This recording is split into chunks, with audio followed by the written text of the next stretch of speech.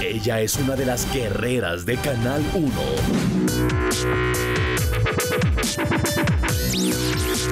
Katy González, emprendedora, nacida en Montería, criada en Armenia y de negocios en Bucaramanga. Se destaca por su empuje, es dueña de su propia marca de ropa y lidera su negocio.